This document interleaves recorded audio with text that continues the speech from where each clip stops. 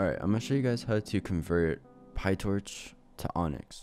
And the reason you'd want to do that is because ONNX runs on AMD and or CPU and PyTorch runs on NVIDIA.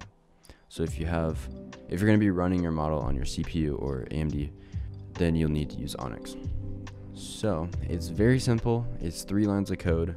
You're going to need Python, and Ultralytics installed. So once you have Python installed and you've added it to path, all that good stuff, then you can go into either the folder where the file you're going to be running, the script is located, and then you'll click in here, type cmd, press enter, and then you can do pip install ultralytics like so or if you have it open in Visual Studio Code, you can run that same command in this terminal.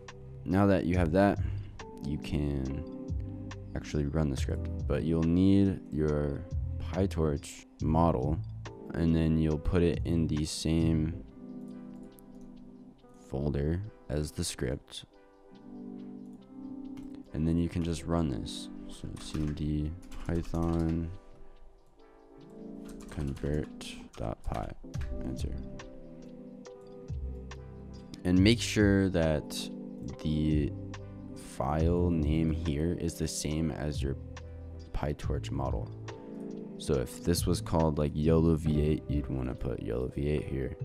But mine's named best.pt, so that's what I put here. And there we go. So it created a ONNX version, and it's very simple. Um, that's literally it.